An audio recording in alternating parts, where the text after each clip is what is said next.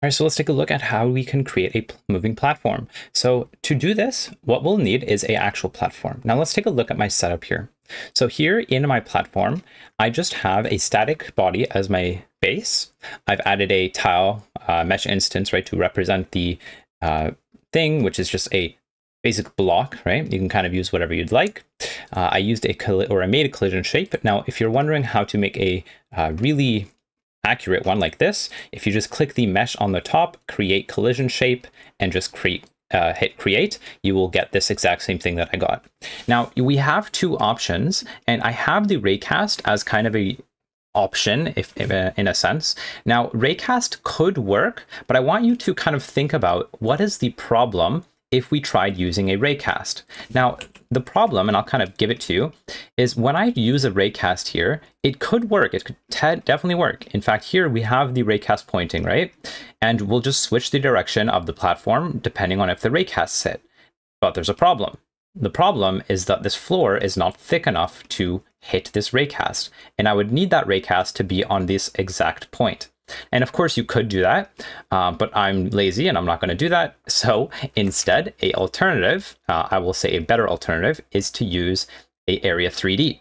So here I've given it a collision shape of a box and I've simply set the area to be slightly outwards to where the collision is. All right, so that's pretty much it for our setup. Now for our area 3D, I'm just going to connect our signal here to body entered. And in our script, let's take a look at what we have.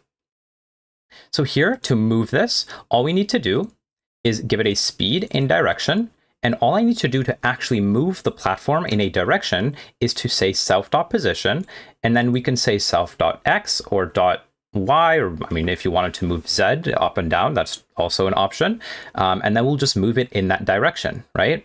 Now, uh, to switch it, it's actually quite easy to switch the direction. I'll simply check to see if I touch a floor. And if I do, I will simply switch the direction by saying direction is equal to minus direction. Now to rotate for the uh, weekly challenge as well, right? Because the weekly challenge was to rotate or use positions to use this, right? You can also just say self.rotate on the Z axis. And this, uh, we'll see what this looks like. Now, when you hit play, we now have a platform here that is rotating on the z-axis and you know it's going to hit the wall eventually. So if I take this out, I wonder if I can actually jump on the platform. So let's take a look. Okay, that's the wrong scene here. Let's see if I can jump onto the platform. I should be able to jump. Oops, I think I missed it. All right, well, Either way, that's generally how you would uh, create a moving platform. So hopefully this helps. Uh, if you guys enjoyed this video, do subscribe to my email list down below for weekly challenges. Uh, this was part of the weekly set challenge on Sunday. Um, so hopefully this helped. Hopefully this challenge was fun. Um, I think it's a bit interesting to see the difference between 2D and 3D scenes. So this week was a 3D platform moving, right? Um, sometimes we'll do 2D, sometimes we'll do 3D, just to mix it up a little bit. Uh, and if you guys just enjoyed this video in general, just hit the subscribe button down below and do leave a comment and like the video. All right, I'll see you all in the future, hopefully.